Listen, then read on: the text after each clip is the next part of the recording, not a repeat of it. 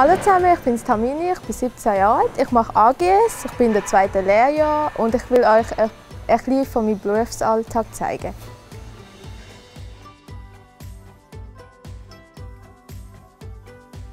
Mit unseren Bewohnern machen wir gerne sportliche Aktivitäten machen, zum Beispiel auch Motorrad fahren, Ski und Barren und so weiter. Und beim Ressourcenfördern tun wir gerne Bewohner holen, Tisch decken und das sollte ihr Gedächtnis ein bisschen trainieren, durch alte Erinnerungen hervorbringen und so weiter.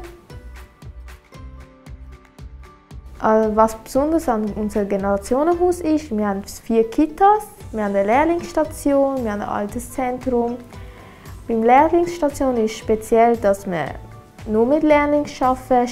Berufsbilder sind auch rum.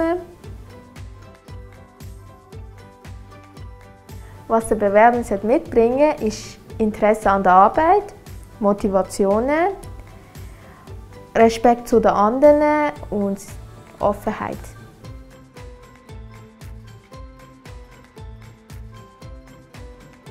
So, jetzt habt ihr einen kleinen Einblick in meine Arbeitswelt erhalten. Wenn es euch gefallen hat, bewerbt euch bei uns.